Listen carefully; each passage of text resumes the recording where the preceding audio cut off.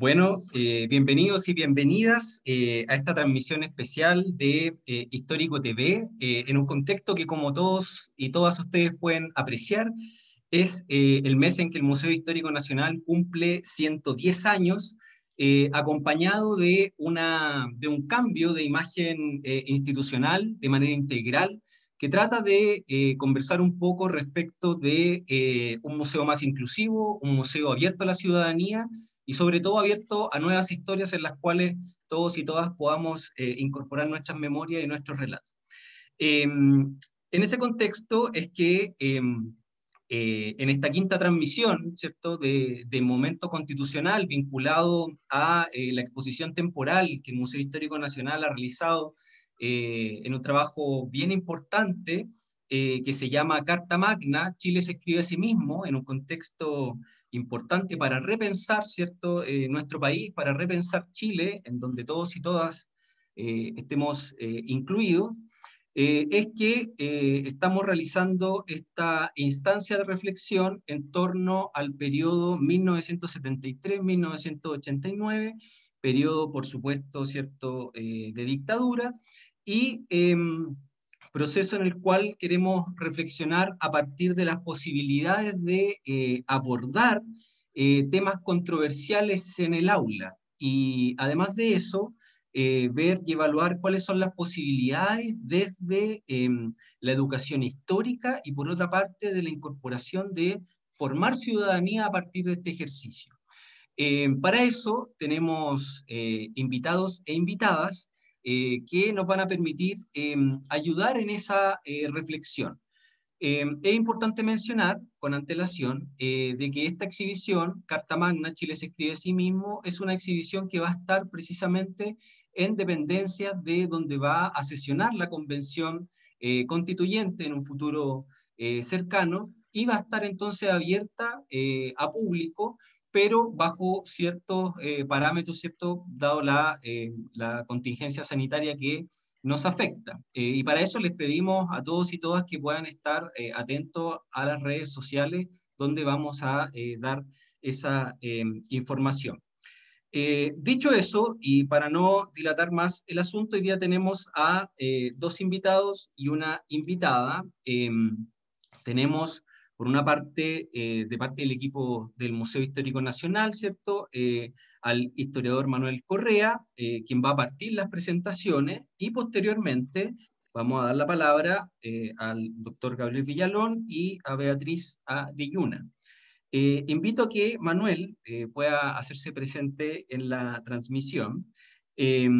Manuel, como bien les digo, les dije, es historiador, eh, trabaja en el equipo de investigación y de nuevo guion, por cierto, del Museo Histórico Nacional, y es parte del equipo, ¿cierto? No lo ha hecho exclusivamente él, sino que es parte de un equipo bastante amplio e integral del museo que está armando la curatoría precisamente de eh, esta exhibición Carta Magna Chile se escribe a sí mismo.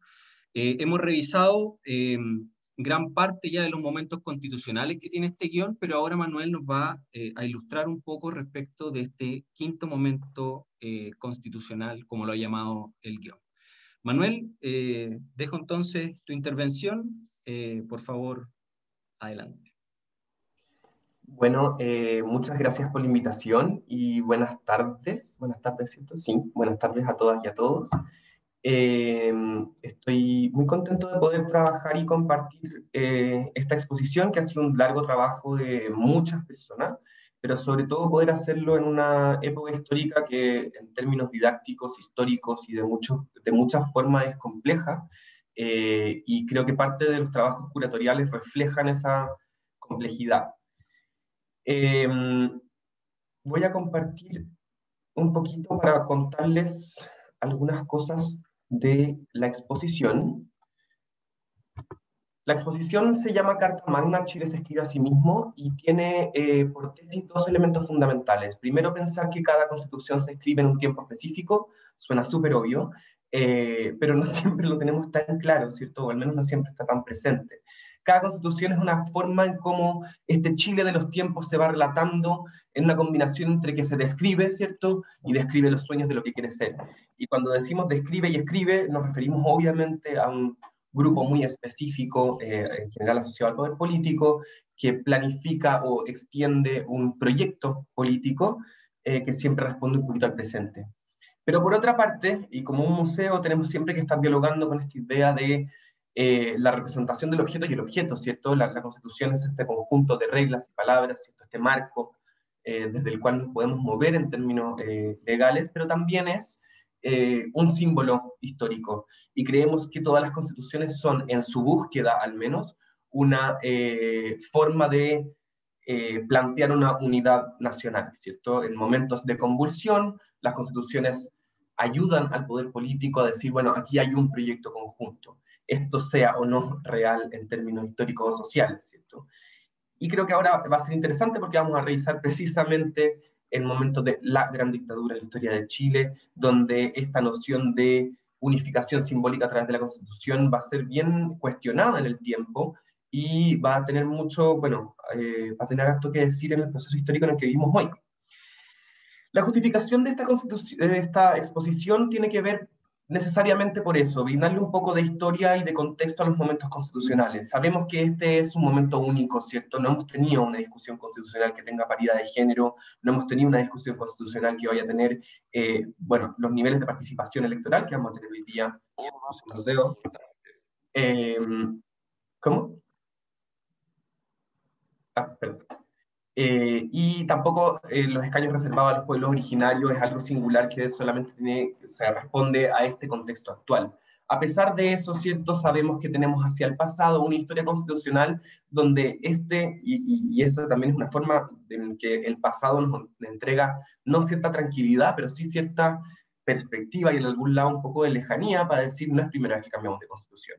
No es tan loco cambiar de constitución y esto ocurre, ¿cierto?, bajo ciertos contextos y preguntas que las sociedades se van haciendo en el tiempo. Para esto entonces dividimos en núcleos temporales, no me quiero alargar demasiado en esto porque sé que el Histórico TV ha tratado cada uno, eh, pero entre el 11 y el 28, que podrían ser los ensayos, ¿cierto? Entre, el 33 y el 65, que sería ya como la constitución autoritaria, entre el 65 y el 25, que van a ser las reformas de mediados del siglo, donde, donde eh, va a cambiar esta idea de la diversidad, bueno, tanto religiosa o de, o de, o de agrupación, etc. La del 2563, que va a ser esta gran pregunta sobre lo social y lo democrático dentro de un Estado representativo. Y por último, o sea, no por último, el quinto es el 7389, que es el que nos convoca hoy día. La forma en cómo vivimos la, la, la exposición es a través de estos cuatro subtemas eh, y aquí lo que más tratamos de hacer, o al menos para nosotros fue un foco importante en términos curatoriales y de investigación, es que no queríamos que esto no fuera una, una historia constitucional de Chile, sino más bien una historia de Chile a través de las constituciones. Eh, queríamos un poquito entender que el objeto estaba detrás de un escenario, de un, de, un, de un, contexto complejo, ¿cierto? En donde había una serie de personas que estaban, a, a la cual le sucedían eventos históricos, y en eso la discusión, ¿cierto? Sea, bueno, y eso responde el quienes fuimos, y que la discusión se imbrica y se enmarca, ¿cierto?, dentro de este cuadro en el que más o menos podemos eh, dibujarnos históricamente como una sociedad chilena, y por último tratar de entender eh, más, quizás performáticamente, dentro de las leyes, el quienes llegamos a ser. El ejemplo más claro ahí es, después de la independencia, efectivamente fuimos un nominalmente país independiente. Hay, hay ciertas cosas que se marcan eh, por el hecho de declararse, eh, eh, que, que, cambian un poquito el rumbo. Ahí uno puede discutir cuánto o no, pero cada constitución busca demarcar un quiénes llegamos a ser y queríamos dar imagen un poquito de ese proyecto. Por último, y esta es una sección más pequeña dentro de cada vitrina, queríamos hacer un pequeño núcleo escritural donde habláramos de bajo qué eh, contextos materiales se escribieron cada una de las constituciones, digamos, cómo se firmaron, con qué tipo de lápiz, con qué tipo de escribanía en un comienzo, y vamos a terminar con un taquígrafo, ¿cierto? Como, eh, eh, y este ya es un poquito la historia de la evolución de la, de la escritura y sus aparatos, que es volver un poquito hacia lo concreto.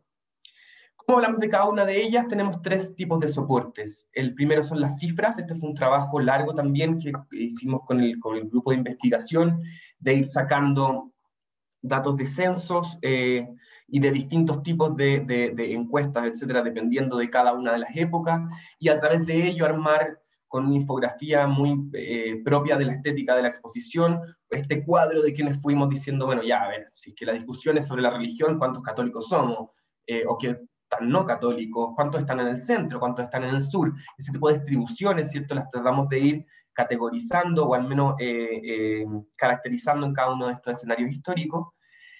El arte, que, es, que es una de las formas interpretativas, creemos nosotros, más importantes porque hablan de un doble mundo, ¿cierto? Hablan un poquito de su contexto, pero también hablan eh, eh, siempre un poquito fuera de él. Es parte de la gracia del arte, se va él leyendo así como las memorias en el tiempo de distintas formas, y eso otorga una, una conectividad en la, en la, exposición en donde el arte va a terminar siendo, nos pasó más bien cuando estábamos montando una, especie de hilo conductor eh, de las memorias y los conceptos que uno podía ir agarrando desde el principio, ¿cierto? Y por último, las colecciones patrimoniales, aquí los objetos importan un montón porque nos humanizan, ¿cierto? Nos vuelven a, cómo podemos tomar, así o, observar las cosas y objetos que muchas personas en Chile recordamos, eh, sobre todo ya en este periodo. Eh, hay, hay, hay, muchas personas que lo vieron, votaron, eh, pasaron por este, por este contexto y por lo tanto tienen un componente por un lado emotivo y por el otro lado empático en tanto a su, a su, a su uso humano, ¿cierto? Entonces planteamos dentro de esta exposición que cada constitución es el sello de una época, y esto tiene que ver con cómo cada constitución o cada discusión en sí misma refleja este universo conceptual o este universo sensible en el cual cada constitución se ve hecha. Es, probable, esto es, digamos, una reflexión propia, pero eh, es probable que la, que la constitución que vayamos a redactar desde ahora en adelante hable mucho sobre eh, minorías, por ejemplo, que es un tema muy del siglo XXI y no lo era en 1833. Eh, evidentemente. Y en ese sentido, eh, cómo los temas se van involucrando, ¿cierto?, a la discusión social, tiene que ver con cómo cada constitución se dibuja un poco eh, o, dibuja el mundo en el cual se inscribe. Cosa que va a ser particularmente interesante en este periodo. ¿De dónde venimos antes del 73? para dar un poquito como el hilo, ¿cierto? Veníamos hablando de la ampliación del voto, veníamos hablando de la inclusión de la mujer en la política, de la inclusión en su espacio público, veníamos hablando de un mundo popular eh, mucho más movilizado. Esta es una de mis imágenes favoritas de la muestra, que es del 60, se llama La Marcha del Hambre, donde las familias mineras de Concepción, mujeres e hijos, marchan por los bajos sueldos de eh, sus maridos en las minas, ¿cierto? Y donde, donde la idea de esta movilización va a ser mucho más importante desde el 20 en adelante eh, y, va a estar tomando particular peso dentro de, los, de la década de los 60 a, digamos, a fin de siglo. Obviamente tenemos también como, como proceso aparte la polarización que va a estar ocurriendo desde los 70 ¿cierto? en adelante, que hay dos imágenes bien significativas, una que a mí me causa más bien gracia, que es la marcha de las cacerolas vacías, del 71, y la marcha antifascista que tiene ahí a la Gladys Marín, protagonista al medio, no sé si se ve mi mouse, pero eh, fue parte un poco como de este proceso en que los polos se van a estar políticamente corriendo eh, y van, a estar confrontándose mucho en el espacio público, que eso es algo que nosotros eh, que estamos viviendo en los últimos años vamos, vamos a ver revivir, ¿cierto? vamos a volver a entender este espacio público desde una perspectiva profundamente política fuimos entonces? Eh, o más bien, ¿qué es lo que quiero hacer? Porque no quiero, no quiero dar tanto contexto histórico, asumo que nuestros dos invitados, que son mucho más iluminados que yo, nos van a, nos van a poder dibujar un poco este, este tiempo, pero sí quiero mostrar cómo este tres tipos de materialidades, los datos, eh, el, el, arte y los objetos nos pueden guiar un poquito, o al menos cómo como museo podemos ayudar a guiar eh, temas tan complejos y cómo estos nos pueden entregar ciertas nuevas perspectivas. Aquí los datos nos van mostrando, este, este es un juego que llevamos haciendo en nuestra larga línea desde 1810 en adelante en la exposición, ¿cierto? Y nos muestran, por ejemplo, eh, en la esperanza de vida. Eh, acá lo que le va a pasar es que va a tener uno de los despegues, ¿cierto? El segundo despegue más importante eh, en el último tiempo. Para el 80 tenemos una esperanza de vida de 65 años, ¿cierto? 20 años antes, en el 60, teníamos una de 54, que en términos como de cómo va la curva, es un aumento importante y por lo tanto una transformación demográfica, ¿cierto?, relevante. En cuanto al analfabetismo, que va a ser uno de los temas que más va a ir cambiando nuestra exposición, sabemos que eh, no tanto antes, el 70 a 10 años, teníamos un 12,8, eh, de analfabetismo y aquí hay una reducción hasta el 9,7, lo que habla de más o menos un estancamiento en este aumento constante. O sea, efectivamente hay una disminución del analfabetismo, pero sabemos que no es particularmente acelerado eh, con respecto al periodo anterior, que, donde, donde es uno de los temas más interesantes de ver. Estas, infografías son súper grandes, entonces van cambiando mucho los datos y aquí vemos que más o menos podríamos decir que es una tendencia, ¿cierto? Eh, los niveles de, escolaridad también van aumentando. Este es quizás uno de los datos más eh, transformadores. El 11% seguíamos con un 5% de población universitaria hace mucho rato. Y aquí uno de los que a mí me parece más relevante en términos como de, qué está pasando eh, en este universo de los datos es la fuerza de trabajo formal, ¿cierto? Aquí forman 4 millones, que corresponde a un 32,9. Y aquí es donde para poder reenganchar tenemos que volver muy atrás. O sea, en el 40, por ejemplo, en 1940 en Chile teníamos un 38% de población formal en trabajo. Lo que quiere decir que, eh, bueno, aquí estamos en el, en el 87, ¿cierto? Veníamos, no, no, no, estaba tan lejos la crisis del 82 y la cesantía que le, que le, que le, que le siguió. Eh, pero habla de una dificultad del trabajo importante durante el periodo, ¿cierto? Que va a dar pie a una población eh, de trabajos informales o, de, cesantes, ¿cierto? Que sabemos siempre va a tener una forma de pensar, imaginar o incluso relacionarse con lo político, con el futuro o con, con el proyecto. Aquí interesante también comentar eh, lo que le pasó a la industria, ¿cierto?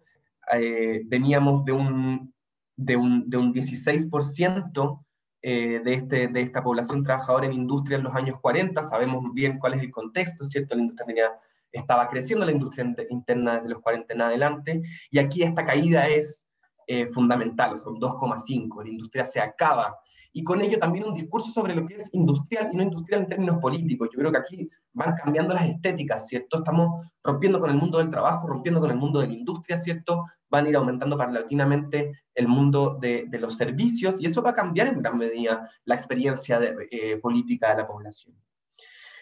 Aquí este es un dato complejo, lo discutimos muchísimo cuando lo pusimos, pero eh, la, participación electoral en el 88, sabemos que los registros no son precisamente tan fidedignos, ¿cierto? Pero más o menos han ido pudiendo dibujar esta población electoral. Y aquí sí existe un aumento importante, tomando en cuenta las, consideraciones que tenemos que ver sobre eh, eh, la, plausible que son los datos, porque tenemos una población electoral en el 70 que es del 37, y una del 88, ¿cierto?, para el plebiscito que va aumentar profundamente. O sea, esta es la primera vez que vamos a tener una población donde la mayoría de la población está inscrita en, los registros electorales. Nos volvimos una sociedad urbana, eh, ya no rural, ¿cierto? Que eso cambia alrededor de los años 30 recién. Em, ya, voy a apurarme porque, perdón, me quedé demasiado en los datos y me voy a perder del arte si bien los datos nos pueden dibujar muy a gran pincel lo que somos, ¿cierto? Lo que fuimos en cierta época, el arte nos va a dar el tinte de, las nociones. Aquí eh, creo que, y si recomiendo a alguien por qué ir a estas exposiciones a mirar en parte este cuadro, este es parte de, el, cuadro de eh, Gracia Barrios, ¿cierto? Eh, humanos de la serie Humanizar. Este está hecho el 83, aunque hay discusiones quienes dicen que es del 86, entra al museo el 2014 como parte de la intención de alargar eh, la muestra permanente y poder tomar, tocar temas como exilio, ¿cierto?, o eh, derechos humanos. Este es un cuadro que Gracia Barros hace recién volviendo a Chile, ya vuelve el 82, sus teóricos dicen que vuelve como ávida de mundo, como si nunca hubiese estado un poco, vuelve a dibujar la vega, los delantales, los tazos de leche, y entre medio se mezcla un poquito o aparece esta, esta, esta, eh, esta serie, ¿cierto? Que vuelve un poquito a esta, a esta bruma anterior, pero con mucho más fuerza, que quizás le va a dar paso a sus sesiones de, o sea, al arte que va a tener a final de la década, en, el 87, 86, en que va a mezclar suelo y, y, tierra. Eh, y nos recuerda mucho, y aquí quería recordar una de las, de, de las frases más famosas de ella, ¿cierto? Que dice mucho antes, el 66, cuando está hablando de la naturaleza, y dice que a ella le interesa mucho en términos plásticos eh, la, naturaleza intervenida por el humano porque, porque la aterra y lo que a ella la tierra lo pinta. Em, y yo creo que, que, esta idea del terror eh, y el arte se van a mezclar muy bien en esta, en esta época en particular. Y quiero pensar o queremos pensar curatorialmente que este cuadro, que es lo primero que nos encuentra para referirse al periodo, va a marcar esta distancia entre lo que es la exigencia eh, política desde el arte y este terror, es una ambivalencia del terror y la exigencia. Eh, una forma de terror que incluso seguimos mirando, eh, voy a saltarme, lo siento por esta obra porque me encanta, me ha encantado comentarla, pero supongo que ya es muy tarde.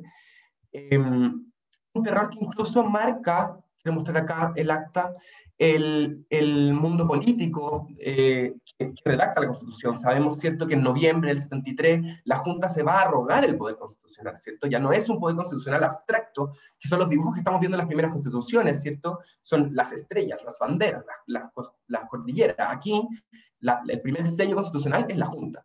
Y las juntas son personas. Y esas personas, en algún lado, como muestran los artículos transitorios de esa época, tienen miedo. Tienen miedo al extranjero, tienen miedo a la Guerra Fría, tienen miedo al comunismo, ¿cierto? Entonces, aquí hay, hay, hay, un doble juego donde el temor va a tener como, como una línea transversal en la construcción social, en la construcción artística y también en la construcción de los objetos. Eh, a mí esta acta del juramento me parece un, un, objeto particularmente interesante. Tiene casi como una estética medieval y germánica, ¿cierto? Como que volvía a su origen natural. Y habla también mucho de lo que es la noción del origen de la Constitución, ¿cierto? Sabemos que la Constitución eh, rompe, esta, la del 80, ¿cierto? Estando en dictadura, rompe con el reformismo que muchos de, muchos de los teóricos eh, utilizan para dar cuenta del proceso, porque llega a transformar casi un, eh, más del, o sea, se queda casi como con el 61% de la Constitución de, del 25, que a su vez llevaba como un 80 del anterior y así podemos volver hasta el 28. Esta rompe, ¿cierto? Y, y, rompe de una forma que, que, tiene que ver mucho con el miedo. Yo estaba, no sé si alcanzo a leerlo, pero pensaba cuando, cuando, cuando Pinochet anuncia, ¿cierto? Eh, esta, esta exposición, declara que hay opciones y, y, votar por el sí o por el no es una, eh, es una forma de tomar un camino determinado, binario, ¿cierto? Y dice, estas son las dos de las alternativas. La primera estoy citando, es eh, volver a la paulatina pero inexorable noche de los mil días negros de Chile, con todo ese cúmulo de angustias y miserias que nos azotó sin piedad. O tomar la ruta que patrióticamente estamos señalando a nuestros conciudadanos. Es aquí, chilenos y chilenos, donde radica nuestro dilema al pronunciarnos por esta nueva Carta Fundamental que será sometida a vuestra declaración. Quiero pensar, eh, o me gusta imaginar que los objetos, el arte eh, y los datos nos pueden ayudar a imbuirnos de lo que debe haber sido vivir. Eh, yo no lo viví, por ejemplo, nací en 92, ¿cierto? Pero, pero vivir este, este, este proceso constitucional eh, que rompe la tradición constitucional chilena, que trata de ser refundacional desde una forma donde, donde no hay garantías de derechos humanos, ¿cierto? Y que van a transformar en gran medida la historia constitucional chilena desde aquí en adelante. Gracias. Muchas gracias, Manuel. Creo yo que, em, que se dejan enunciados por lo menos algunos de los nudos importantes para que la gente además después vaya y pueda presenciar y, desarrollar su propia opinión respecto de todo este guion curatorial. Eh, pero también nos posiciona ahí en algunas problemáticas pedagógicas, ¿cierto? Tanto eventualmente en algún momento para el aula, pero también en lo virtual para los profes, para las profesoras, eh, o también incluso para quien lea eh, o revise el catálogo. Entonces, te invitamos, Manuel, te agradecemos a apagar tu cámara para que ahora eh, entre en escena el doctor Gabriel Villalón. Él es doctor en didáctica de la historia, geografía y ciencias sociales de la Universidad de Barcelona, Autónoma de Barcelona, y actualmente es académico del Departamento de Estudios Pedagógicos de la Facultad de Filosofía y Humanidades de la Universidad de Chile, y además es miembro, eh, no sé en qué estado y si solo miembro presidente prácticamente de la Asociación Chilena de Enseñanza de las Ciencias Sociales. Eh, Gabriel tuvo acceso, por cierto, al guion curatorial también previamente, ¿cierto?, a este, a este periodo, así que, bueno, la idea es que nos pueda colaborar con alguna reflexión desde el ámbito de la didáctica y cómo abordar eh, un proceso constitucional que se vivió básicamente sin la ciudadanía en periodo de dictadura. Adelante, Gabriel. Eh, gracias, Carlos. Eh, buenas tardes a todos y a todas. Eh, primero agradecer la invitación del museo, ¿cierto? A Carlos, a, Luis y también al equipo que se dedica a los temas de educación en el museo, Marcela, Mauricio, Grace, Pablo, ¿cierto? Que, he tenido la oportunidad de poder estar con ellos y trabajar en otros momentos. y, también y también agradecer la, oportunidad de compartir esta mesa con Manuel y, con Beatriz en estos tiempos de, de, pandemia. Lo que, como decía Carlos, eh, a lo que me voy a referir yo tiene que ver más que nada en un sentido pedagógico, didáctico, eh, tener en cuenta algunos elementos para pensar este último periodo constituyente a partir de esta muestra que está proponiendo el museo y colocar alguna idea para la problematización y el abordaje eh, de este periodo, tanto en la sala de clase como también eh, teniendo en cuenta eh, el espacio del museo como un espacio de aprendizaje, como un espacio que da una oportunidad de acercarse a la historia, a, la evidencia histórica y a la fuente, eh, y para discutir un poco la, narrativa sobre lo que somos, que es un poco lo, lo, que intenta realizar el, el museo. Em, en general, eh, voy a apuntar a, una temática em, que se desarrolla desde hace harto tiempo en el ámbito de la enseñanza de las ciencias sociales, primero en términos generales, eh, y luego en particular de la educación histórica, que es eh, el abordaje de lo controversial como un eje para la enseñanza de la historia. Y un poco lo que voy a mostrar son como algunas ideas para, para pensar en esa problematización de lo último 40 años eh, y que luego probablemente podamos discutir un poco más con, Beatriz y Manuel. Em, claramente el abordaje de este último periodo constituyente, todas las actividades que se están realizando, tiene que ver con esta gran sacudida, ¿cierto?, que significó el estallido social el 18 de octubre del 2019, em, que vino a remover la sociedad ¿cierto? La sociedad chilena, eh, algo que venía dándose por lo menos quizá acumulando desde el año 2006, cuando salieron los estudiantes secundarios en una primera etapa a, remover eh, eh, el status quo chileno y que de cierta manera termina explotando este 18 de octubre, para algunos de manera inesperada, eh, pero que viene a remover eh, todos los cimientos instalados a partir de este último momento constituyente del año 80 y termina teniendo entre una su salida el proceso constitucional cierto que, eh, que, estamos viviendo hacia la creación de una nueva constitución. Claramente, esto no solo, si sacude la sociedad, sacude finalmente la escuela, y la sacude también en particular en lo que es el campo eh, que nos dedicamos eh, eh, nosotros, que tiene que ver con la enseñanza de la historia y las ciencias sociales, en términos de dos cuestiones. Una, es increíble, pero desde el 2019, si bien podemos decir que siempre somos actores, sujetos de la historia, hoy día estamos viviendo esos procesos que quizás muchas veces los veíamos en los libros, en algún documental.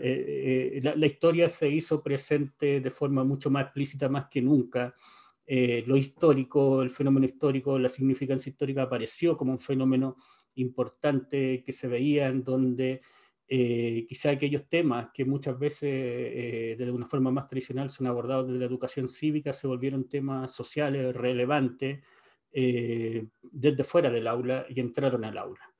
eso ya era un desafío para los docentes y las docentes, y, esto claramente tuvo acción y reacción. Los profesores actuaron, como siempre, acomodándose, intentando responder a las necesidades de los estudiantes, intentar, intentando instalar un discurso, hacerse cargo de la contingencia y dar respuesta, pero también ese hecho de que la escuela haya sido sacudida y haya sido sacudida por la contingencia se, eh, frente a la acción de las escuelas para intentar ubicar a esos estudiantes en el contexto de lo que estaba sucediendo, surgió también la reacción y tenemos eh, la acción, ¿cierto?, tomada durante todo este tiempo por el mismo Mineduc, ¿cierto?, acusando esta idea de adoctrinamiento, en particular en la escuela y casi siempre vinculado a los contenidos históricos.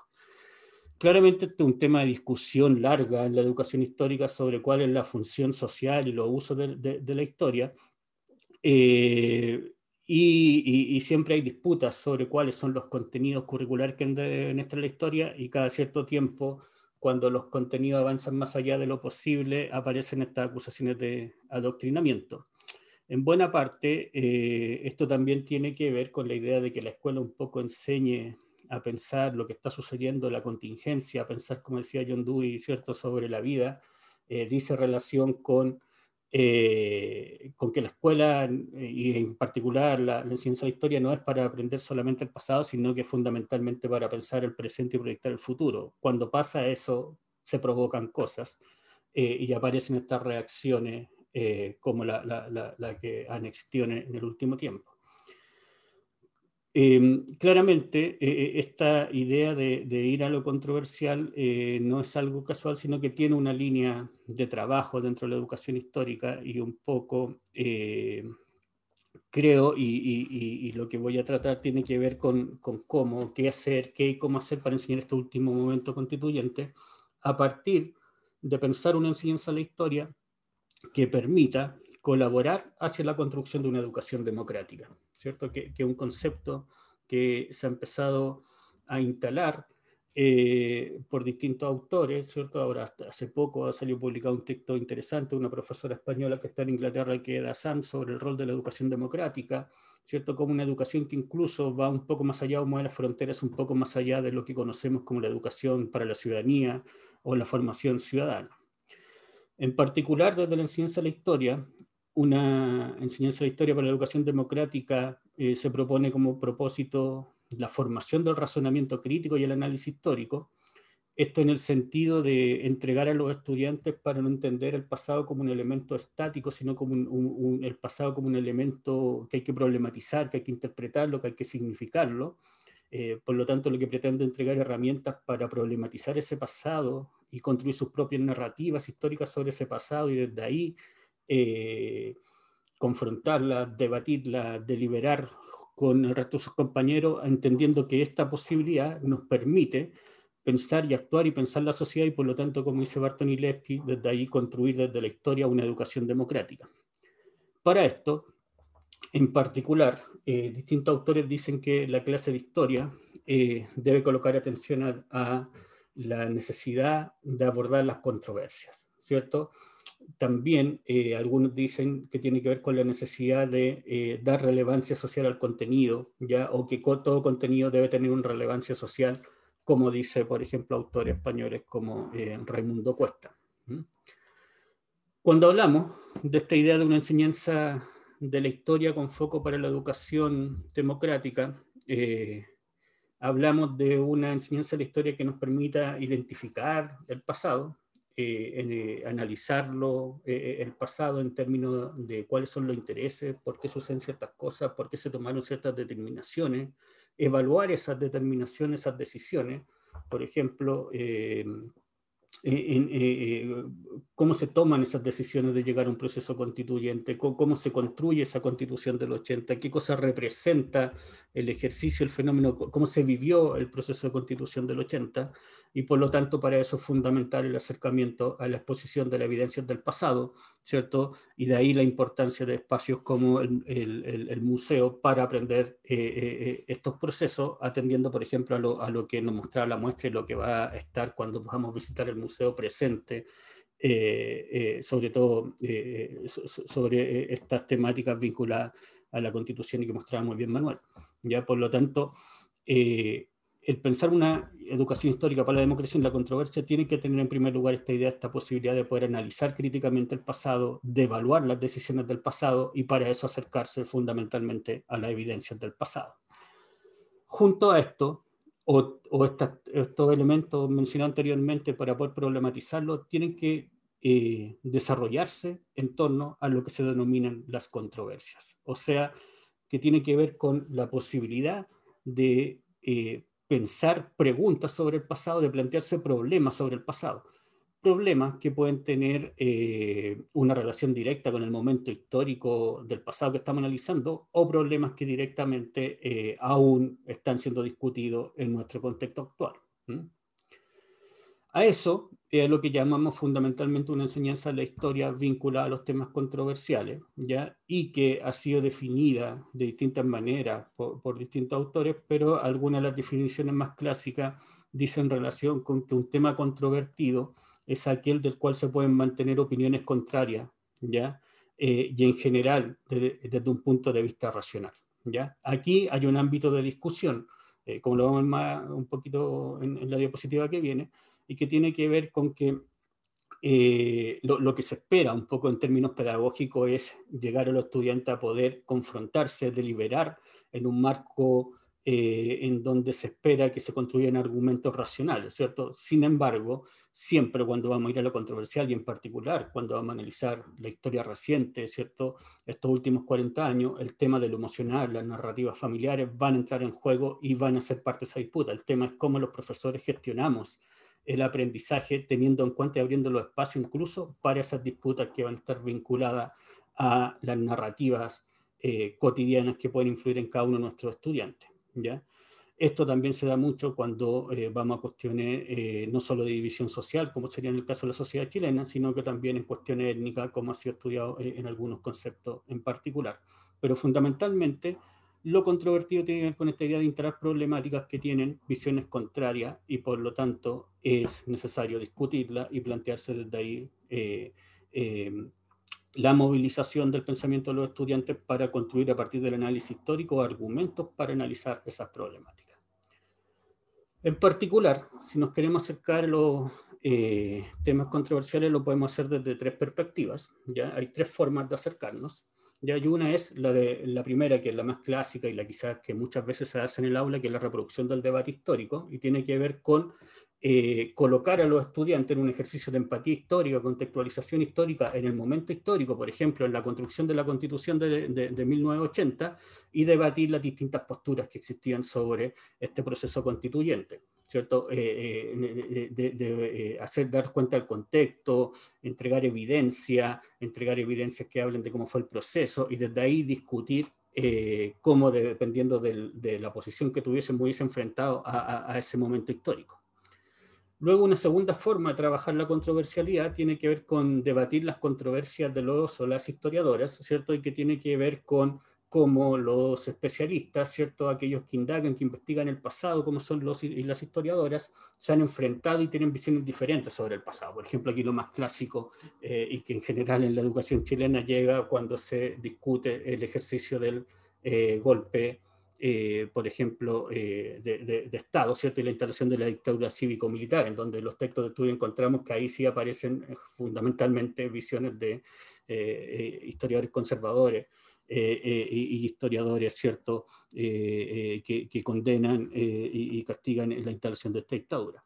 Y quizás eh, el espacio más interesante para el trabajo de la controversia tiene que ver con el choque de memorias y pasados controversiales, ¿ya? y que tiene que ver precisamente con un poco lo que probablemente aparece hoy día en el aula cuando enseñamos estos espacios. Si bien eh, las generaciones que hoy están en la escuela ya son lejanas a la dictadura, sus familiares, sus familias muchas veces, sus abuelos han sido parte, ¿cierto?, este proceso y tienen narrativa sobre ese proceso, por lo tanto, cuando enseñamos esto, entran a jugar un papel importante también las emociones en la discusión, ¿ya? En la discusión de esos temas históricos y probablemente en la versión eh, más conflictiva, la, versión que conlleva mayor trabajo para el trabajo de la controversia, ¿ya?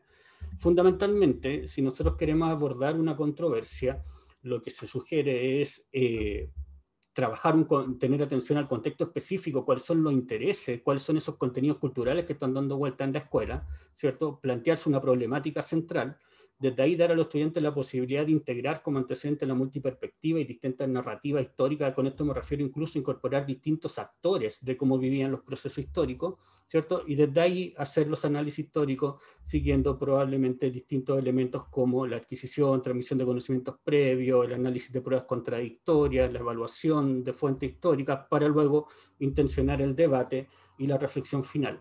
En particular, sobre todo pensando en este ejercicio como un ejercicio de construcción de educación democrática, es importante dar la posibilidad a los estudiantes de colocarse en la posición del el otro, de poder interpretar, de leer los argumentos del otro y desde ahí plantear su contraargumentación. Dicen los autores que esto es fundamental para una construcción de la educación democrática. Y para ir cerrando, por lo tanto, ¿qué es lo que nos interesa entonces? ¿Por qué la constitución, las constituciones y la historia reciente como tema controversial? Fundamentalmente porque cuando hablamos de constitución y un poco si pensamos en ciertos conceptos claves que instala, por ejemplo, la Pilar Benellán, cuando hablamos de constitución estamos hablando de elementos que son fundamentales para, para pensar el orden social. ¿ya? Cuando hablamos de constitución pensamos sobre la organización social, sobre cómo nos organizamos, qué más controversial que pensar y discutir sobre cómo hemos decidido organizarnos en el pasado, en el presente y cómo nos proyectamos en el futuro. Hablamos sobre la desigualdad, hablamos sobre lo que somos, sobre la identidad, hablamos sobre la familia. ¿ya? Ayer repasaba la constitución y, compararla al 25 y al 80, ¿cierto? En la constitución del 80 se determina que la familia es el núcleo básico de la sociedad cómo se hace un tema discutir qué cosa es una familia en Chile, discutir con nuestros estudiantes, cómo se ha entendido la familia históricamente, es posible hablar del modelo de familia tradicional en Chile, eh, realmente eh, estamos en una situación de igualdad, se reconoce a todas las familias por igual, por lo tanto la constitución en como ese elemento que nos permite organizarnos es un tema controversial en sí mismo y por lo tanto nos permite discutir, desde ahí incluso discutir el amor, quienes tienen derecho a hacer un matrimonio, que tienen derecho a casarse, ¿cierto? ¿Qué tipo de relaciones se reconocen, qué tipo de relaciones no se reconocen, ¿cierto? Eh, eh, es bastante interesante. Y por último, ¿cómo esto pensarlo en el museo? Pensarlo en el museo fundamentalmente eh, yendo al museo como un espacio para hacernos preguntas, ¿cierto? De cierta manera, revisar, pensar sobre por qué hay ciertas fuentes en el museo, por qué la muestra establece tal narrativa, me interpreta o no me interpreta, podría ser de otra forma, discutir desde ahí, el espacio museístico se puede volver como un espacio de aprendizaje fundamental para la historia y para pensar controversialmente y para pensar una historia controversial. Muchas gracias.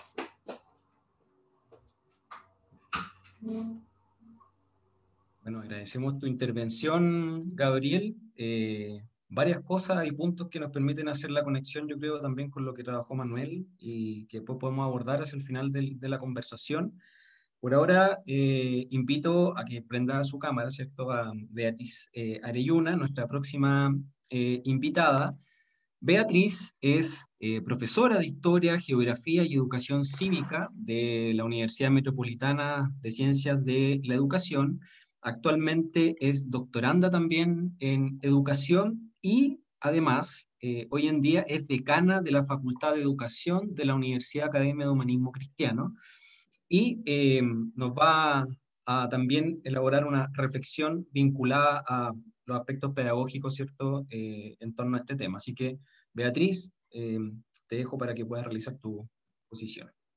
Ok. Voy a compartir Eh, mi PPT y eh, voy a partir inmediatamente. Primero que todo, eh, saludar a todos y a todas quienes están viendo la transmisión y particularmente la, invitación que me hizo el, museo para mm, discutir este quinto momento constitucional, como lo ha llamado la curatoría, y además agradecer a mis compañeros en esta presentación, eh, Manuel y Gabriel, porque eh, creo que va a haber mucho de complementación en este trabajo. Entonces, partir diciendo que eh, si uno escucha atentamente lo que, lo que plantea Manuel, ¿verdad? Y la cantidad de objetos, pinturas, elementos de la cultura que aparecen en este guion, eh, evidentemente estamos frente a un montón de evidencias, a un montón de huellas, de fuentes del pasado, y siempre para un pedagogo eh, un objeto, un recurso, cualquier sea, ¿no? una canción, un cuadro, es una provocación para constituir una situación pedagógica. Por lo tanto, em, esta invitación que hace el museo para reflexionar eh, las cartas magnas en la historia de Chile, particularmente el momento actual, el momento constituyente, es una invitación muy poderosa eh, y que podemos aprovechar en, muchos niveles. A mí particularmente me, pidieron y me ha tocado eh, discutir el, el tema de las cartas constitucionales eh, desde la mirada de la educación ciudadana o desde la mirada de la educación cívica. Aquí vamos a discutir un poquito cómo lo hacemos. Eh, y, desde esa mirada, lo primero que hay que decir es que este periodo, particularmente de 1973-1989, eh, es un periodo de la historia reciente eh, que es tremendamente activo para formar ciudadanía, para construir discusión, eh, para elevar temas eh, controversiales, como decía Gabriel, porque em, nosotros sabemos que en la constitución del 80 en particular, nosotros encontramos una genealogía del presente. Es decir, se torna no solo en un hito, no solo en un hecho histórico y en un proceso histórico, una coyuntura histórica, sino además eh, un hito que nos permite entender el por qué estamos hoy día donde estamos, ¿no? Y si nosotros aplicamos un método genealógico, es tremendamente poderoso hoy día eh, escuchar, incluso las consignas de los mismos ciudadanos, de los mismos jóvenes y estudiantes, cuestiones que refieren a este periodo histórico como uno diría el origen de la situación actual. Entonces el rol de la memoria histórica en la construcción de identidad es fundamental. No existe ciudadanía sin identidad y no existe ciudadanía sin memoria histórica. Por eso cuando Gabriel dice, una de las cuestiones más eh, difíciles de trabajar con la controversia es la aparición, muchas veces contrapuesta, ¿verdad?, de memoria histórica, eh, y que esas memorias históricas no necesariamente son de los protagonistas, sino de hijos, nietos, bisnietos de los protagonistas, eso es absolutamente relevante en la constitución de la identidad ciudadana, ¿no? No hay ciudadanía sin identidad y sin conciencia histórica. Partamos por ahí. Entonces, eh, la primera mm, eh, permiso que yo les voy a pedir es hacer una previa reflexión muy, muy breve sobre la tradición en la, formación ciudadana y los obstáculos del cambio para enseñar la ciudadanía y por lo tanto también ponernos a pensar cómo una iniciativa como esta, que está, entre comillas, en una agencia cultural distinta a la escuela, pero socia de la escuela, puede ayudarnos a ir em, eh, disipando esos, esos obstáculos que tenemos para enseñar la ciudadanía. Eh, el primer obstáculo que nosotros tenemos es la concepción misma de ciudadanía que, ha, em, que se ha difundido en las escuelas y en la enseñanza tradicional. Nosotros diríamos que si hay elementos eh, comunes en la concepción de ciudadanía, son estos tres elementos, que la ciudadanía es la, expresión del sujeto en los espacios públicos, que los sujetos ciudadanos tienen un estatuto jurídico, y eso es muy, muy importante, y que, y esto también es importante respecto de lo que decía Gabriel, un ciudadano puede discernir racional, emotivamente, sobre cuestiones políticas, éticas, etc. En esto uno diría que hay acuerdo y hay una suerte de eh, educación ciudadana formal que transmite estas ideas. Sin embargo, hay una otra dimensión de la ciudadanía que es la dimensión sociohistórica de la ciudadanía, que tiene que ver con efectivamente la experiencia histórica y las luchas que han dado sujetos de este tiempo u otro, como también aparece en el guion que nos presentó Manuel, para expandir sus derechos. Es decir, los derechos sociales, políticos, económicos no han surgido necesariamente de la buena voluntad de un soberano, sino de las luchas que han dado los ciudadanos para obtener esos derechos y que pugnaron, ya sea por autonomía o no. Acá pongo un ejemplo de trabajo y un ejemplo de derechos civiles con afrodescendientes en América, en América del Norte. Entonces, uno de los problemas que ha tenido la eh, formación cívica tradicional es que ha difundido una mirada nominal y restringida de la ciudadanía. ¿Qué significa eso? Que es esta mirada donde ser ciudadano es mayor, de, tener mayor de 18 años y votar en unas elecciones. Ha evitado el estudio comparado de las democracias, lo que implica que nuestros estudiantes crean que todas las democracias son iguales a esta. De hecho, hay varios estudios previos al 18 de octubre eh, donde incluso esos estudios tendían a creer que esos jóvenes tenían una suerte de, em, de distanciamiento de la democracia, cuando en realidad lo que hemos visto es que los jóvenes tienen una gran, em, grandes ganas de participar, sobre todo de lo civil, pero que se han desvinculado de la democracia representativa, que es una de las dinámicas de la democracia. Eh, y esto es muy importante porque también atiende a lo que decía Gabriel, que desvincula el estudio de la institucionalidad de la experiencia. Es decir, cada vez que nosotros estudiamos la constitución, los poderes del Estado, los procesos constitucionales, los estudiamos em, en abstracto sin establecer la relación con el proceso que lo sustentó, con el contexto cultural, pero sobre todo con las problemáticas o con, los, eh, con las controversias que implica la relación con esas, entre los sujetos y las instituciones. Eso estaba más bien deshabitado de la escuela. Entonces, se, más bien se otorga valor a lo cívico e invisibiliza a la sociedad civil. Además, mantiene una mirada adultocéntrica, donde los jóvenes van a ser ciudadanos en el futuro. Eh, no establece relación entre lo convivencial y lo institucional. Elude la controversia. Aquí, en algún momento, esto es importante decirlo, y lo elude por muchas razones. Eh, por la censura, ya lo decía Gabriel al inicio de su presentación, o porque gestionar la controversia histórica eh, es una tarea que la escuela no ha tenido eh, como rol fundamental en la tradición, todo lo contrario. ¿no? Por lo tanto, hay que derribar barreras para hacer esto. Y luego se mantiene la tendencia de una ciudadanía como una cuestión jurídica, más que una cuestión cívica, social, etc. Entonces, nosotros pensamos, bueno, ¿cómo generar eh, una formación ciudadana que no se aloje en eh, ciudadanías formales restringidas, sino en ciudadanías máximas y ampliadas? Dice Adela Cortina, la formación ciudadana no se hace, o la formación de los sujetos ciudadanos no se hace para formar sujetos dóciles o sujetos que naturalicen el orden social y que puedan seguir, por ejemplo, a cualquier eh, líder populista. La formación ciudadana justamente se hace para establecer un juicio histórico de la realidad, del pasado, del presente y sobre todo del futuro.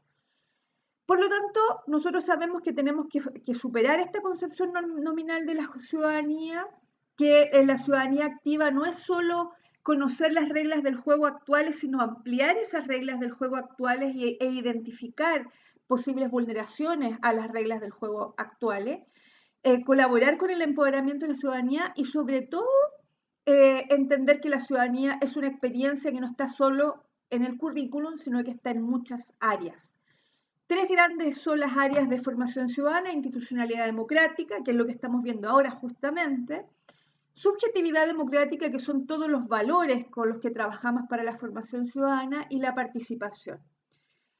Según los estudios del PNUD que se lanzaron respecto de todos los planes de formación ciudadana que se, hicieron después de la ley 20.911, eh, donde cada escuela tenía que generar una serie de actividades para trabajar la formación ciudadana, lo que nos damos cuenta es que la mayoría de esas actividades se concentran en lo convivencial, es decir, ejercicios como ferias, eh, acciones culturales, fondas, pero no necesariamente cuando, porque en, nuestro estudio, a mí también me tocó trabajar con 100 colegios, eh, no necesariamente esas acciones de una subjetividad democrática inclusiva, por ejemplo, tenían que ver con la relación con la institucionalidad.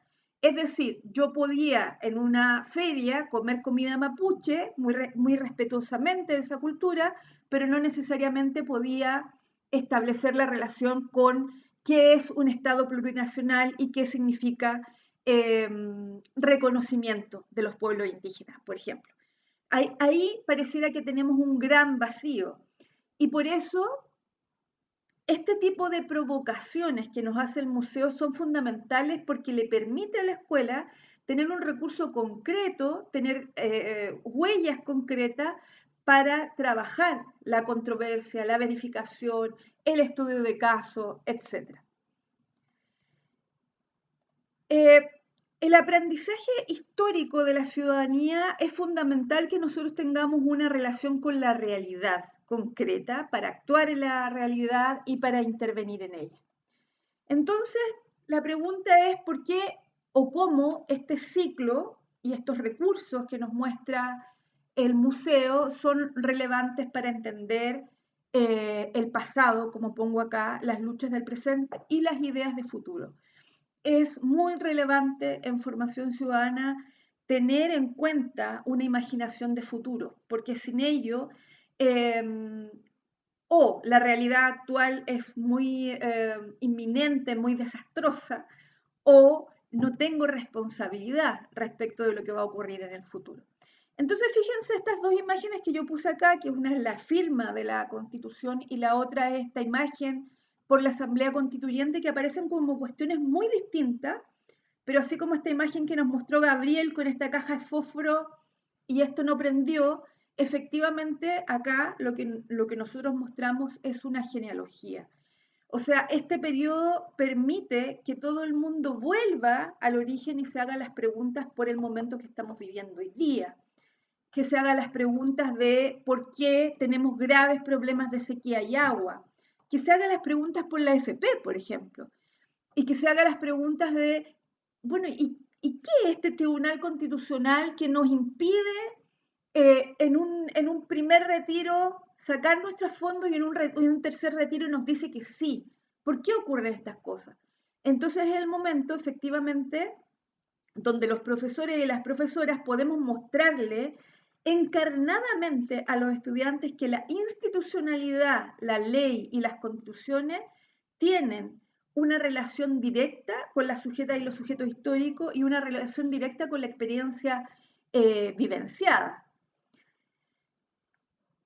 no hay que mm, ser muy estudioso, ¿verdad?, para saber que la primera etapa de la dictadura se caracterizó por una fuerte represión, control social, detenidos desaparecidos, torturas, campos de exterminio, cierre del Congreso, eliminación de los partidos políticos, control de los medios de comunicación y depuración ideológica en los colegios, por ejemplo, exilio, control del poder judicial y violación sistemática de los derechos humanos.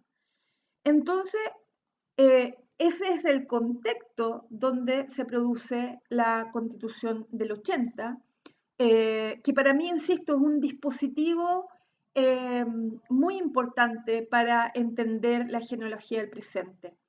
Eh, en esta lámina, nosotros podemos ver no solo cómo es una constitución que se generó sin padrones electorales, sin garantías mínimas para los opositores, que se dice, que todo el mundo dice que eh, se gestó donde la gente creía que si votaba en contra de esta constitución iba a ser perseguida.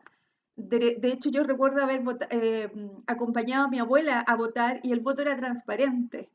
Y la gente que estaba en la mesa lo miraba al sol con una actitud así un poco como, ojo, te tengo, te tengo vista, ¿no? Para, eh, en este proceso. Por lo tanto, estudiar el contexto donde se genera la constitución del 80 y estudiar el contexto de este proceso constituyente, que a lo mejor no es eh, exactamente el proceso que la ciudadanía estaba pidiendo el 18 de octubre, pero que hoy día sabemos que mayoritariamente la sociedad chilena quiere cambiar la constitución.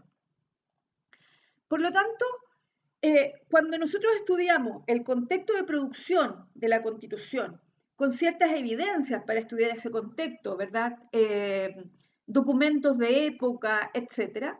También nos vamos encontrando que en la Constitución efectivamente nos encontramos con ciertos candados para la democracia, como por ejemplo el típico y, bien, y muy discutido artículo 19, que si bien no habla de la subsidiariedad, de la subsidia, ni, ni siquiera lo quiero nombrar, del Estado, sí consagra un derecho mayor de los privados sobre los derechos sociales y además eh, consagra la em, libertad de elección, asumiendo que la libertad también está asociada a los recursos económicos. El excesivo presidencialismo, ¿no? la pregunta de por qué en Chile puede un presidente tener la cantidad de atribuciones que tiene, eh, las leyes orgánicas constitucionales y las leyes de quórum calificado, ¿verdad? Como, eh, como esta idea de que incluso tenemos eh, un tribunal constitucional como tercera cámara que puede actuar en términos políticos y los asuntos de seguridad nacional como el COSENA. Quiero decir, en el estudio de la constitución hay montones de elementos para entender la vivencia cotidiana de las personas hoy día y los estudiantes se pueden encontrar con eso. El gran problema que nosotros hemos visto es que muchas veces el estudio de la constitución se hace casi leyendo la constitución y no estudiando casos concretos asociados a la constitución. Por lo tanto, eh, estudiar la constitución del 80 es necesario para saber qué cambiar hoy, porque estamos ante un proceso constituyente, identificar cuáles son los derechos que deben estar presentes en una nueva constitución y tampoco creer que la constitución es todo, ¿verdad? Comparar casos, esto es muy importante.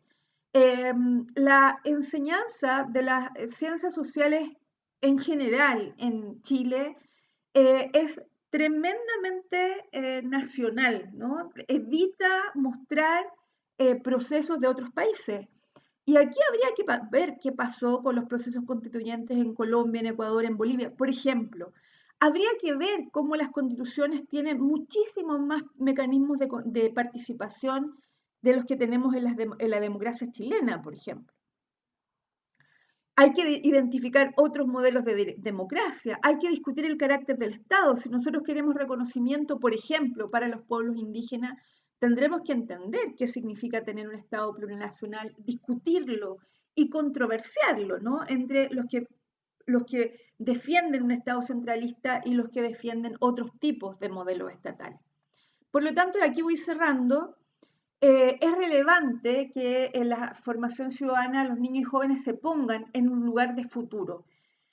Eh, ¿Y por qué se tienen que poner en un lugar de futuro responsabilidad con el cambio que sueñan? Porque no solo se trata de demandarle cuestiones a la constitución, por ejemplo, o al futuro, sino que también debe haber participación y responsabilidad en el cambio.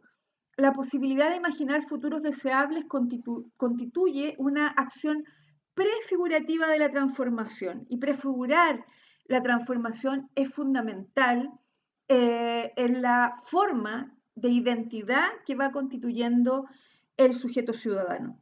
En este sentido, la alianza que se puede construir o configurar entre museo y escuela es fundamental, porque em, tenemos, por una parte, una serie de recursos eh, materiales, objetivos que nos permiten dar evidencia, pero por otra parte tenemos la experiencia eh, de visitar el museo, hoy día incluso de forma virtual, hoy día que hay pocas posibilidades eh, de hacerlo en, términos presenciales, esa acción de visita en sí misma ya es una experiencia con la que yo puedo discutir, con la que yo puedo decir estoy de acuerdo o no. De hecho, esta idea de que eh, Chile se eh, escribe a sí mismo, o se ha escrito, no, no recuerdo exactamente la frase del... Uno podría decir, es bien poco lo que los chilenos han escrito constituciones y por eso es tan interesante el proceso actual y por eso es tan interesante la provocación que nos hace el Museo Histórico en, en este eh, en este recorrido eh, por la historia del pasado y el presente de Chile. Muchas gracias.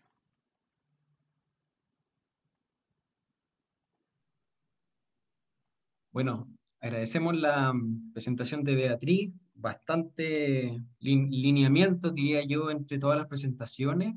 Eh, invito a Gabriel y a Manuel que puedan también prender sus cámaras para abrir un, espacio de, diálogo, ¿cierto? Em, hemos tenido, bueno, varias, personas conectadas, eh, hay, varios eh, comentarios, voy a partir leyéndolos para después quizás enfocarnos en algunas otras cosas. Jimena Medina, por ejemplo, nos indica que, bueno, en una visión, la historia son hechos, más que postura es realidad, contexto, por más que quiten horas de historia, siempre habrá quien lleve la memoria y las trapaces de generación en generación, es un comentario de ella. Em, otro comentario saludando de Daniela Sepúlveda, ¿cierto? Eh, eh, a la profesora eh, Beatriz.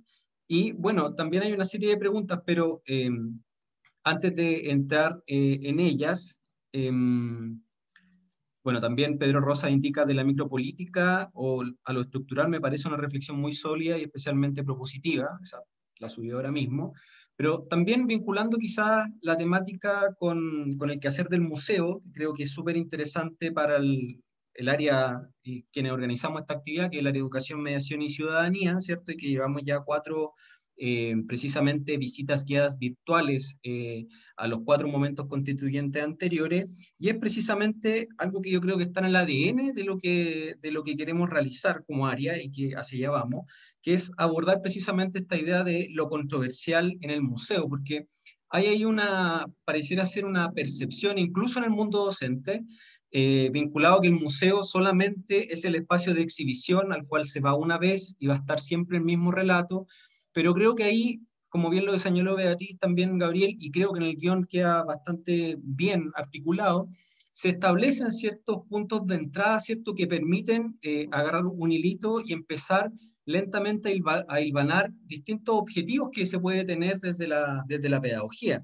Y ahí me detengo en que cuando, la, cuando se pueda visitar la exhibición o este catálogo en línea, en tres momentos claves de cada periodo que estableció ahí, em, que estableció cada momento constitucional, eh, y que tiene que ver con el quienes fuimos, ¿cierto?, en un periodo determinado, después de eso, la discusión propiamente tal, y en tercer lugar, quiénes llegamos a ser. Por lo tanto, pareciera ser de que en cada uno de esos momentos constitucionales está ese eje que permite, y hoy me, me cuelgo un poco lo que dijo la Beatriz también, Gabriel, hacer esta especie de genealogía, que de alguna u otra manera estaba dispersa, ¿cierto? Y en ese sentido, el quehacer del museo y esta exhibición permite eh, elaborar ese, ese discurso, ¿cierto?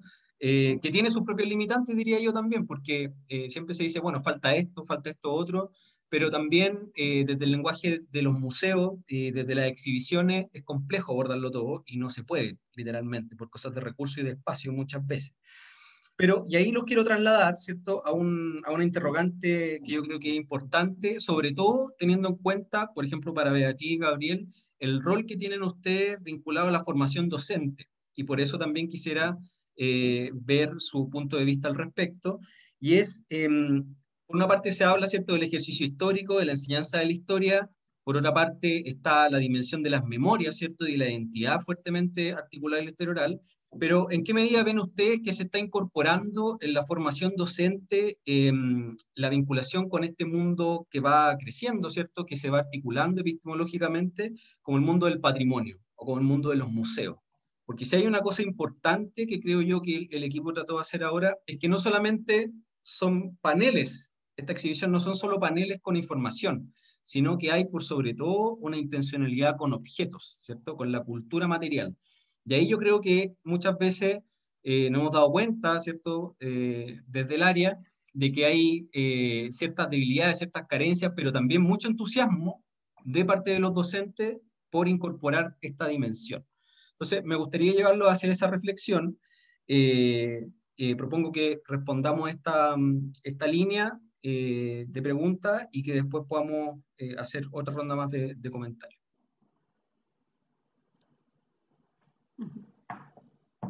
¿Partimos en el mismo orden quizá?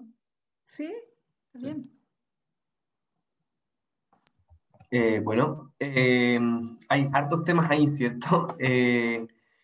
Sí, yo creo que es muy importante, sobre todo en este vínculo entre, entre, entre los museos y la educación, y sobre todo en, en temas históricamente complejos, ¿cierto? Es volcarse a relatarlos y volcarse a discutirlos y volcarse a que aparezcan, y en ese sentido los museos son muy ricos en fuentes primarias, son objetos, ¿no? Y nos permiten eh, que se haga muy presente. Yo creo que, que, que la, la mediación dentro de las exposiciones, y esperamos que mientras esta pandemia nos lo permita, digamos, poder ir volviendo a esta exposición desde, desde una perspectiva de, de, la mayor mediación posible y de hecho considerar que va a ser uno de los pocos espacios eh, abiertos al público dentro del palacio donde va a estar la Convención Constitucional y por lo tanto queremos que ese espacio de mediación sea ojalá el centro o el alma eh, de la exposición, ¿no? Si es que fuera crear un espacio ciudadano para poder ir a ver historia tiene poco sentido si es que las propias personas a las cuales están hoy día, sobre todo haciendo historia, que yo creo que ha sido un poquito lo que nos ha pasado a todos con esta aceleración del tiempo histórico y esta acumulación de nuevos acontecimientos, es poder poner la agencia de los sujetos dentro de, de ese espacio.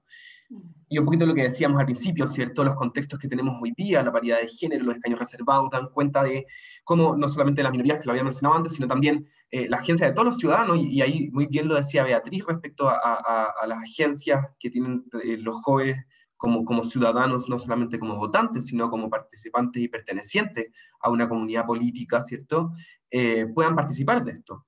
Em, y eso creo que, bueno, es fundamental y ojalá siempre estar pensando en cómo los museos somos la respuesta para estar no somos la respuesta, somos, somos ese vínculo para estar cercano a, la mediación con la educación cívica y ciudadana y transformando sobre todo, también lo decía mucho Gabriel, ¿cierto? Como mencionando esta, esta énfasis en la perspectiva crítica, la empatía histórica, como una forma de, de, utilizar la historia para, estar eh, eh, en esta educación ciudadana desde una perspectiva muy, muy, muy amplia, ¿cierto?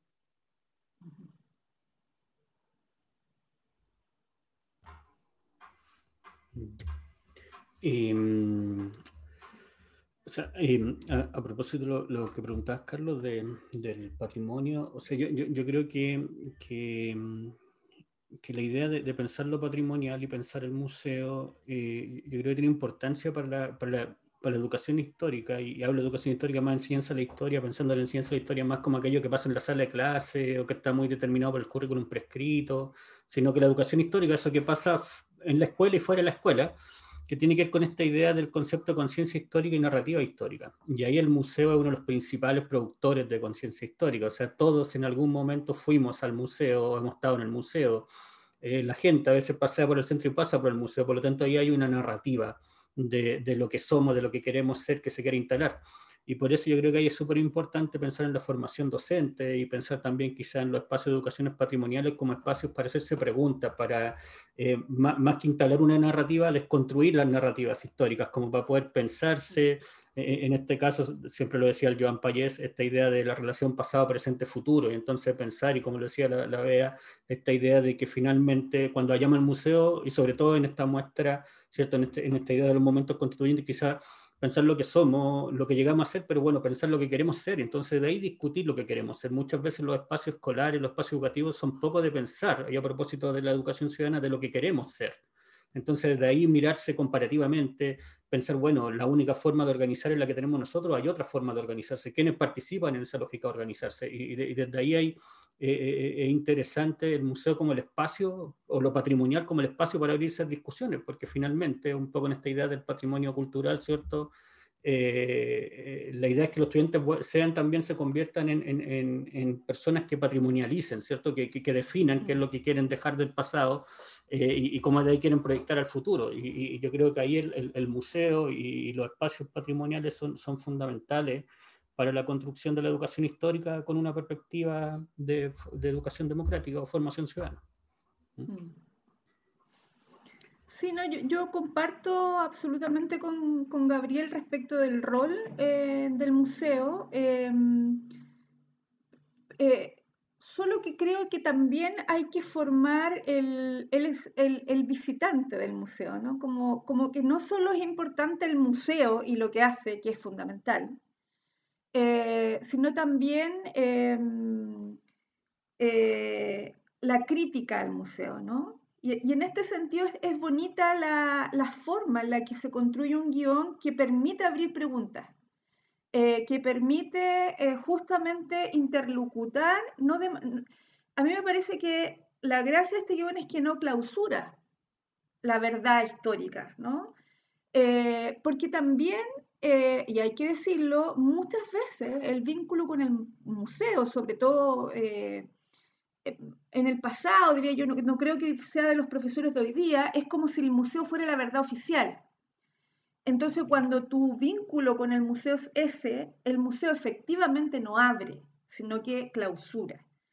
Entonces, yo creo que cuando es el mismo museo el que abre, ¿no? Y que hace las preguntas y que interlocuta, ¿verdad? Y que genera discusión, ese es un ejercicio muy, muy interesante, muy poderoso. Ahora, eh, cuáles las competencias que van teniendo los nuevos cuadros de profesores, sobre todo de profesores y profesoras de historia, eh, para trabajar eh, con estas nuevas formas, me parece que cada vez son más, ¿no? Cada vez que entra más la historia cultural a la enseñanza de la historia, cada vez que trabajamos más con fuentes primarias, etc. Yo, yo creo que cada vez es mayor.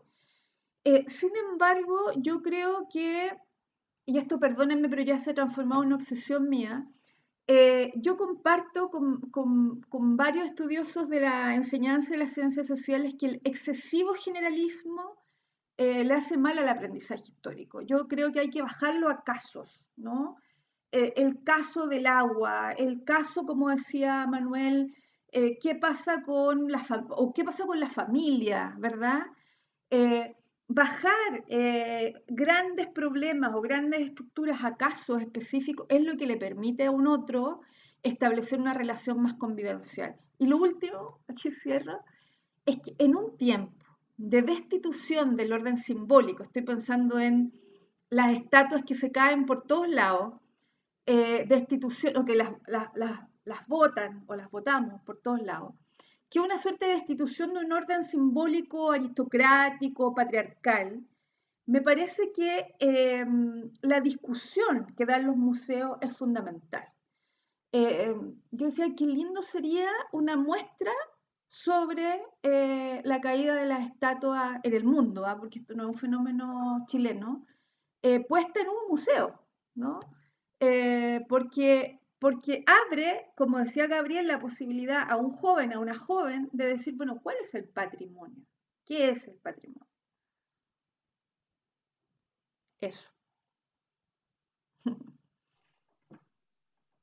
Bueno, nos siguen llegando algunos comentarios vinculados sobre todo a agradecer de que esto se puede hacer a través de redes sociales y comentar, etc.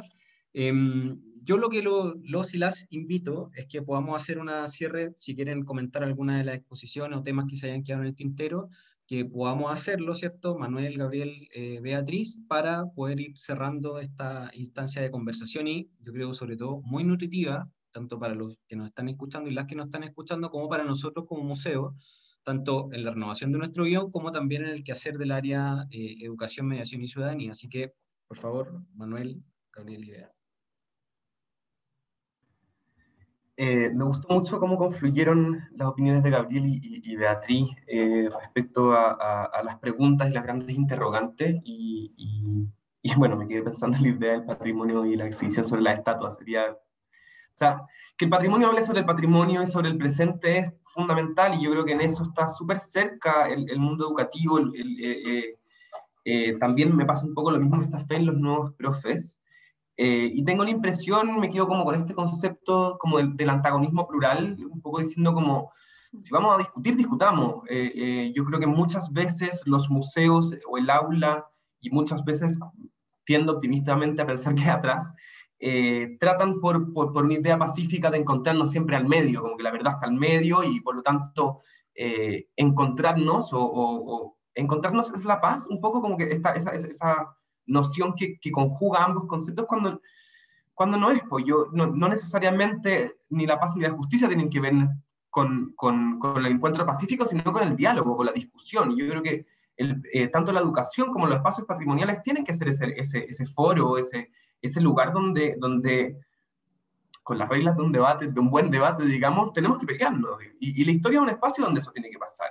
Y, y, me parece que estos son los temas donde tiene que, suceder, porque nos queda en, esta coyuntura, y creo que Beatriz también lo dijo, un, un desafío ciudadano muy grande. Eh, también nos va a medir en gran medida como ciudadanía eh, qué, qué, es lo que va a pasar y cómo cómo va a terminar este proceso. Y, y, nos va a poner un poquito frente al espejo, ¿cierto? De, de, cuánto podemos o no manejar como ciudadanos este universo político y eso depende también de nuestra capacidad de discutir. Y yo creo que ahí el, patrimonio y la educación y la historia y la ciudadanía, eh, como, como educación en ciudadanía, eh, tienen un poquito este desafío de encontrar las formas y, y, los mecanismos en que aprendamos a discutir desde lados muy diversos, eh, sin necesariamente sentir que eso nos vuelve polarizados o menos democráticos, sino al revés, ¿cierto? Más diversos y más democráticos y, y digamos, saber que hay una pertenencia que no necesariamente tiene que ver con el estar de acuerdo, ¿no? Eso. Mm, sí, o sea, como último comentario, o yo, yo creo que hay que dar la oportunidad en general en ciencia de la historia de, de pensar en una enseñanza de la historia, una educación histórica democrática, y esto creo que tiene que tener como punto principal la posibilidad de, mirar a, a, otros y aprender de otros, o sea, colocar distintas narrativas, ya esa narrativa silenciada. Y desde ahí creo que eh, el espacio, además del Museo Histórico Nacional, es fundamental para pensar, bueno, eh, somos una nación, no somos múltiples naciones, somos múltiples identidades. Eh, y, creo que esta muestra de la Constitución abre un poco esas preguntas, como decía la, la Bea, de pensarnos pero también, y, lo hablamos alguna vez con, el equipo educativo en un trabajo que, que la pandemia en algún momento nos dejará volver a juntarnos, pero que, que, tiene que ver con pensar a veces el museo, un poco tomando el libro de Peter Beck como esto, lo visto y no visto, lo que está y lo que no está, pensar en, también el, museo como un espacio para discutir esos silencios, porque claramente el Museo Histórico Nacional tiene una función social como la historia escolar, que enseña ciertas cosas de, de identidad, pero pensar también ese espacio controversial donde discutir lo que está y lo que no está y eso convertirlo en un espacio de aprendizaje. Creo que es fundamental eso, avanzar hacia que el, museo y avanzar hacia que los espacios patrimoniales sean espacios de, aprendizaje también. Y, no solo una salida para instalar un tema, sino que un espacio en sí de, aprendizaje. Eso. Sí, yo comparto absolutamente lo que dijeron mis compañeros. Me, parece que... Eh, más bien quisiera recalcar que el rol que está jugando una actividad como esta y un espacio con el Museo Histórico en un momento como este eh, es fundamental. Eh, porque así como estamos viviendo tiempos de transformación y como ese Manuel nos vamos a medir en nuestra capacidad ciudadana para hacer las transformaciones que tenemos que hacer, eh, también son tiempos neoconservadores, ¿no? donde hay mucha censura en las escuelas, donde hay mucha censura cultural. Eh, y por lo tanto que nosotros estemos hablando de la posibilidad de poner todos los temas sobre la mesa y la posibilidad de que el otro pueda disentir de lo que yo pienso y eso no, va a implicar necesariamente un conflicto o que resolvamos este problema a golpe o con tanque. Eh, eso a mí me parece fundamental. Entonces creo que ese es un tremendo aporte eh, que está haciendo el Museo Histórico a, a este periodo. Así que muchas gracias. Bueno, gracias Beatriz, Gabriel, Manuel por la instancia. Creo que terminamos de alguna otra manera contentos por esta reflexión, además en el marco de nuestros 110 años, cambio de imagen, como que da una nueva impronta para seguir haciendo cosas. Y en esa misma lógica también quería pasar un aviso antes de cerrar la instancia, y es que, bueno, nuestra programación está llena de, cosas este, este mes de mayo, eh, y el miércoles 12 de mayo, que es la otra semana, nosotros tenemos por ahí guardado, ¿cierto, Manuel? una exhibición temporal que se llama Cuerpos de Guerra, que es de un álbum que se encontró en nuestras colecciones vinculado a la Guerra del Pacífico, que tiene muchas complejidades, pero quisimos hacer una instancia de reflexión en torno a las didácticas posibles de ese álbum y de esa cuestión, que ustedes pueden encontrar en nuestra página web como catálogo. Y invitamos a cuatro personas el miércoles 12 de mayo a las 12 horas a reflexionar en torno a esto. El primero es Jordi Planella, no sé si lo ubican, pero es de la Universidad de Cataluña y el eh, autor del libro Cuerpo, Cultura y Educación. Eh, y la presentación de él va eh, girar en torno a aprender a mirar los cuerpos rotos por una pedagogía sensible en el museo. Invitamos también a la doctora Sictina Pinochet de la Universidad Católica del Norte. Ella va a presentar sobre actores invisibilizados de la Guerra del Pacífico, una mirada desde la enseñanza de la ciudadanía y los derechos humanos. Y Valentina Pacheco, con Víctor Rocha, Valentina de Lausach y Víctor de la Diego Portales, van a trabajar sobre los cuerpos de las historias didácticas y estéticas de la perturbación en la enseñanza de la historia, geografía y ciencias sociales. Es decir, como ustedes bien lo decían, estamos instalando precisamente la discusión general, ¿cierto? Pública, pero también por sobre todo educativa, estos temas de que no solamente nos queremos referir a la historia, al pasado, sino que sobre todo abrir las discusiones para el presente. ¿ya? Así que todos y todas cordialmente eh, y todas invitadas a esta actividad para el miércoles 12 de mayo. Bueno, una actividad súper nutritiva. Eh, agradecer, por cierto, la presencia de todos y todas y cada una y una de ustedes. Así que eh, solamente decirle a todos y todas que se cuiden y nos veremos en una próxima transmisión de Histórico TV. Nos vemos, cuídense. Saludos a todos. Muchas gracias. Gracias.